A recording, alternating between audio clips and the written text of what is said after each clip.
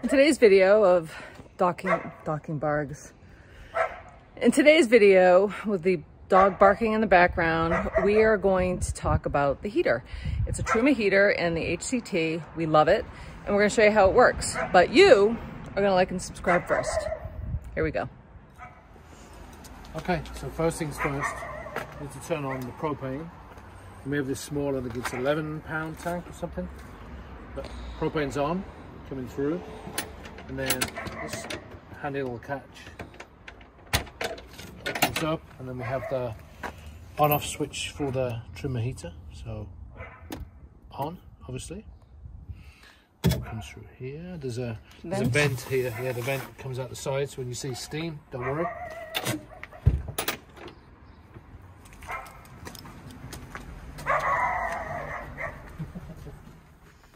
Okay, so here's the Truma control panel for the heater. And you just hold it down to turn it on. I haven't uh, set the time, which is why that said 1203. So it has different settings. This first one here, and they flash when you're gonna set them.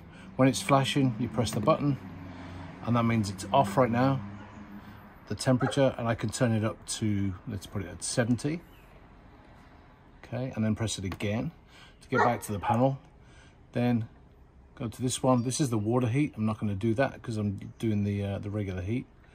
This one here gives you an option of using propane, mix of propane electric, or just electric. Now we only have propane hooked up, so click that one, and then fans, you're going to do eco or high, and we'll go with high. So there's three places where the heat's going to come out. One is down here, I can feel the air coming out. It's a little cool right now. Obviously it has to heat up. The heater has to perform first. So that's coming out of there. Then there's more in the bathroom right here. It's there. That heat coming out.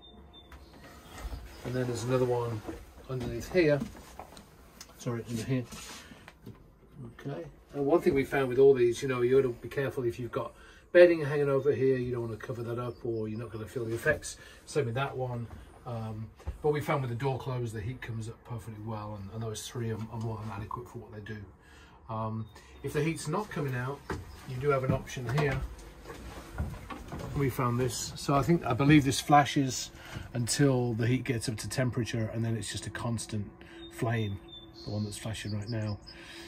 Um, if it stops working, or it's not working, you do have an option here, this little wrench sign I'm not going to do this, but I'll show you. You can click that and you have an option here to, well, actually this has various options. You can do reset. And if you do that, it'll obviously reset the system. But the other option, the other things here, you've got, you can change the language. Obviously I'm not going to do that. I speak English and American. Um, you can change the clock time, which I think we have set anyway. Um, but basically, yeah, that's what we have there. There you have it that's how the Truma heater works. It was awesome. We were experiencing a lot of different weather when we were on our trip out west. We had snow, we had cold nights in the desert, and that heater worked like a champ. If you have any questions, put them in the comments below. I will do my very best to answer them or to get you an answer. Have fun camping, guys.